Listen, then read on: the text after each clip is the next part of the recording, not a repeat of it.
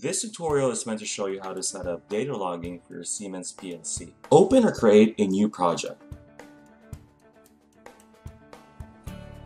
After opening or creating a new project, go to Project View. For this example, we have already chosen the configuration for the PLC. Open the OB block to set up the PLC function. Based on the desired function, choose the instructions needed. For this example, we will be using the move instructions. Assign desired tag label.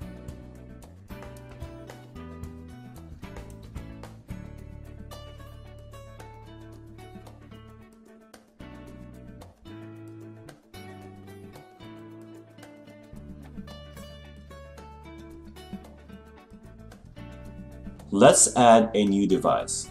For this example, we need to add a new HMI. Select desired HMI. Make sure the device wizard is unchecked.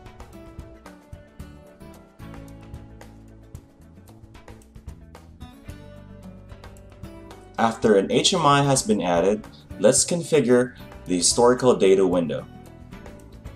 Double-click to add a new data log. For this example, we need the data to be saved in an Excel file. Choose the amount of data to be recorded. Make sure the data path is properly configured.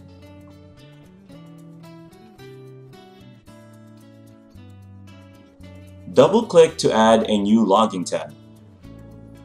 Configure the desired process tag and select the PLC tag that needs to be logged.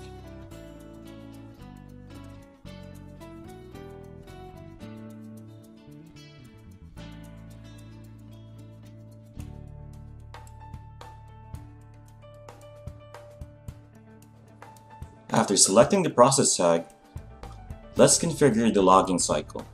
Choose the desired logging cycle.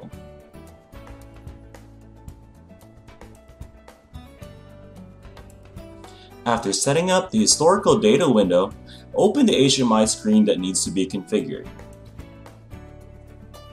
Configure the screen layer based on the desired HMI layout. For this example, we need two elements.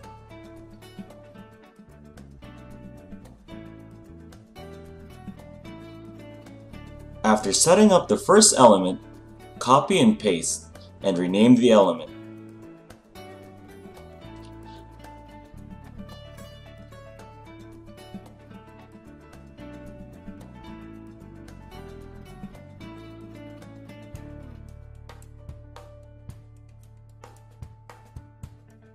Open the properties of the Start Data Log element. Go to Events and select Release. Add a new function and go to Historical Data and select Start Logging. For the data log, select Data Log 1. This was set up earlier. After setting up the first element, set up the other element. Right-click and open Properties. Go to Events and select Release. Add Function and go to Historical Data and select Stop Logging. Select the data log that was set up earlier.